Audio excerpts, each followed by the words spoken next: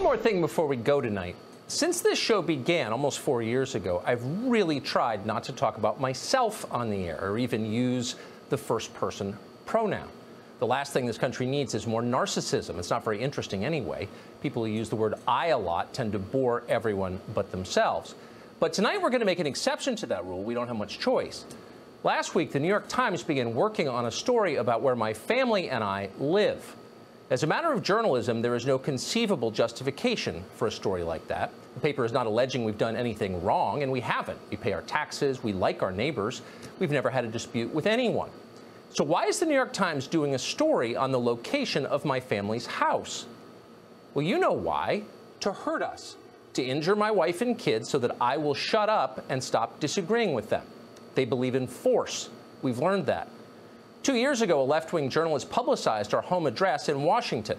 A group of screaming Antifa lunatics showed up while I was at work. They vandalized our home. They threatened my wife. She called 911 while hiding in a closet. A few weeks later, they showed up again at our house. For the next year, they sent letters to our home threatening to kill us. We tried to ignore it. It felt cowardly to sell our home and leave. We'd raised our kids there in the neighborhood, and we loved it. But in the end, that's what we did. We have four children. It just wasn't worth it. But the New York Times followed us.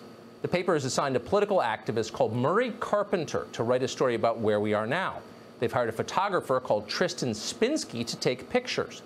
Their story about where we live is slated to run in the paper this week.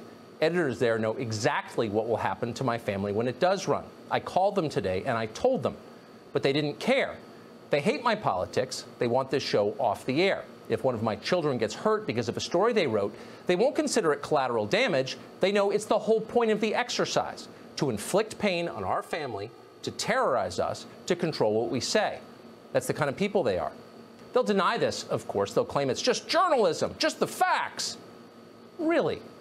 So, how would Murray Carpenter and his photographer Tristan Spinski feel if we told you where they live, if we put pictures of their homes on the air? What if we publicize the home address of every one of the soulless robot editors at the New York Times who assigned and managed this incitement to violence against my family? What about the media editor, Jim Windolf? We could do that. We know who they are. Would that qualify as journalism? We doubt they'd consider it journalism. They'd call it criminal behavior if we did it. And that tells you everything.